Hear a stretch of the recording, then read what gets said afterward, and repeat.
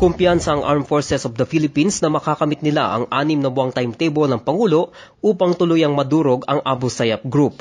Ayon kay AFP Public Affairs Chief Marine Colonel Edgar Arevalo, pinadodoble kahit na ng kanilang AFP Chief ang Joint Task Force Sulu sa kampanya kontra ASG bago pa man sumapit ang June 30 deadline ng kanilang Commander-in-Chief. Idinagdag pa ni Arevalo na sa nakalipas sa tatlong buwan, nakatutulong sa malakas na focus military operations laban sa teroristang grupo ang epektibong interplay ng Army, Air Force at Navy ng Armed Forces. Dahil dito nalagasan ng mga miyembro at subgroup leaders ang ASG at sunod-sunod ring nailigtas ang ilan sa kanilang mga bihag. Sa ngayon, nasa 26 pa na hostages na kinabibilangan ng Filipino, Indonesian, Vietnamese at Dutch nationals ang hawak pa ng grupo at sinisikap ng AFP na mailigtas.